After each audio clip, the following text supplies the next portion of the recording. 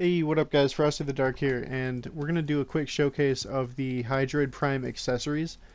Um, these, This is the armor set and the Sugatra that come with the Hydroid Prime accessories pack. Uh, they're pretty nice looking. I like them. Uh, it's I think it's called Sprit Sail armor set, and it's like a sardine or sardin or something, uh, Sugatra. Um, this one's really unique. It actually has like this kind of like um, kind of looks like Hydroid's uh, Water Barrage first ability, um, but it's constantly hitting your Warframe while you're channeling with a melee weapon.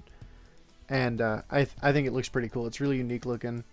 Um, pretty minimal on the glow effects on the actual armor, though. And then this is the uh, Sugatra that it comes with. It's very minimal and it has no channeling effects, but it looks it looks decent. I think it looks pretty good. I like it on my cleavers at least.